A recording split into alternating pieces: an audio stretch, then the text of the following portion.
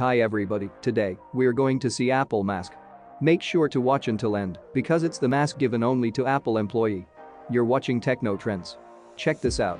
The Apple engineers went to the drawing board to build a better mask Apple actually designed their very own mask for their employees in store to wear. They've actually got a couple different versions, but this is kind of the standard.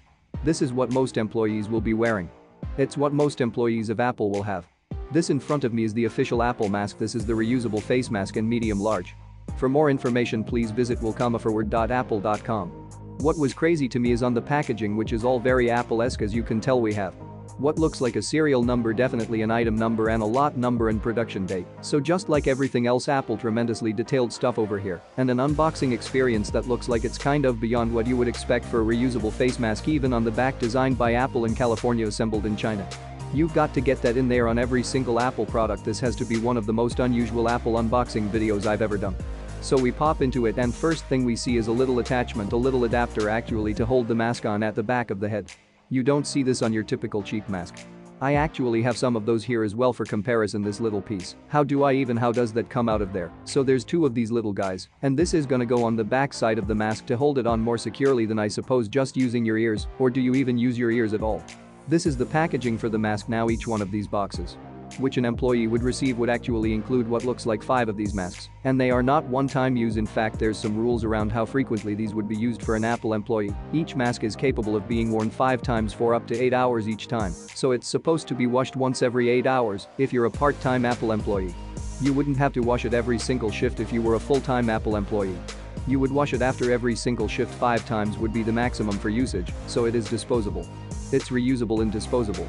It's reusable to a point, and I guess the just keeps it just makes sure that the quality is still there that the functionality is still there without breaking down. There's a little line here I see look of course Apple packaging here.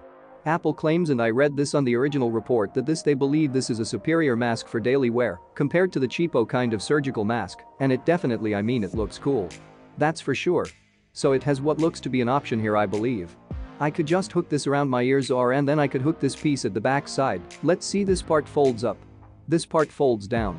Oh wow alright. Let me try this out here and this is going to go around the ears, and I guess there's a pinch point here. Okay so as you can tell I mean that's a different fit than what you get out of a typical surgical mask. It's much more structured in fact so. I'm going to pull one of these out for comparison real quick. So you can see this is just a relatively flimsy sheet, whereas this one has well it has three pieces to it.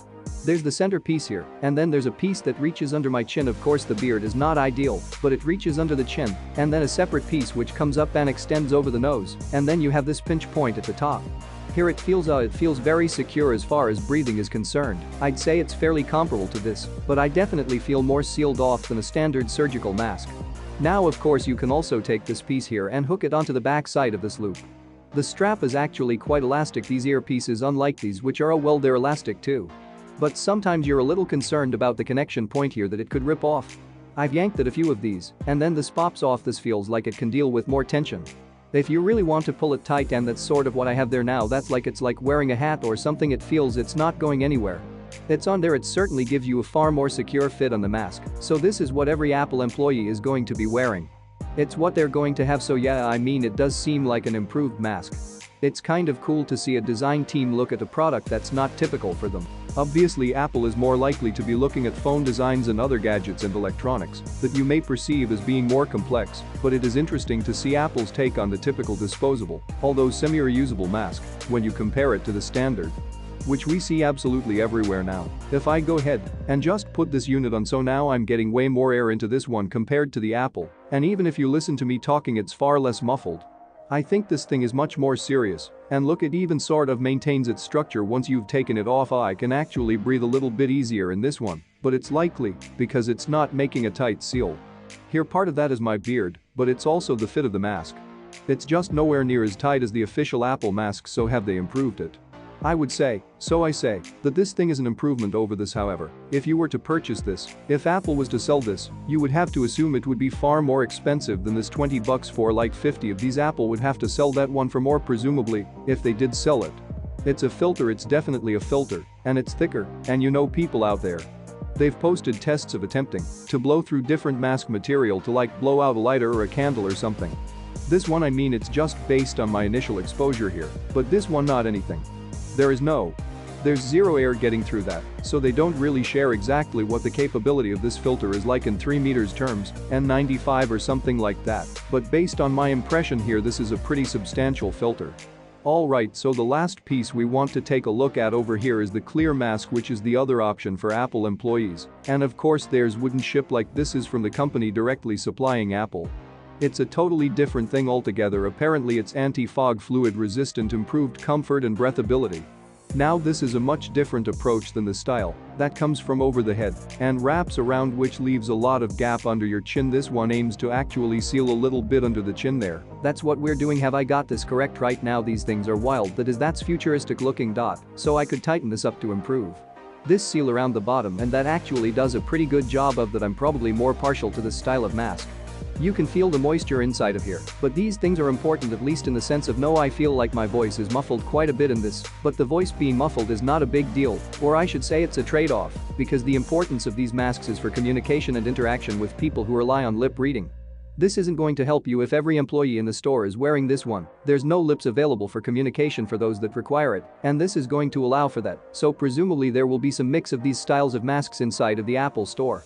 I don't know if it's an option for each employee to choose or if some are designated to wear this style and others this style, but these apparently are the two masks that are going to be popping up that you're going to see in the Apple store. They will be the official Apple masks so what can I say is it an improved design? Yeah I think so. I don't know how feasible it is at scale if some other company wanted to go out and attempt to bring this a similar design to this to the market to sell to people in giant boxes.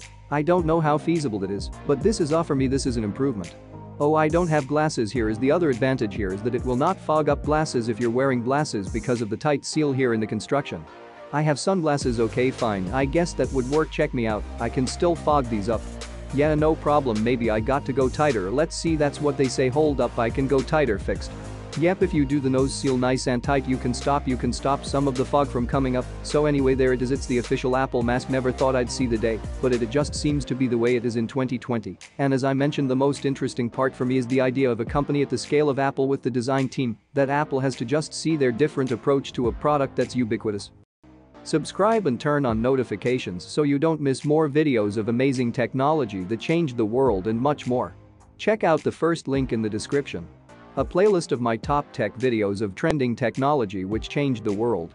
And I'll see you in the next video. Take care.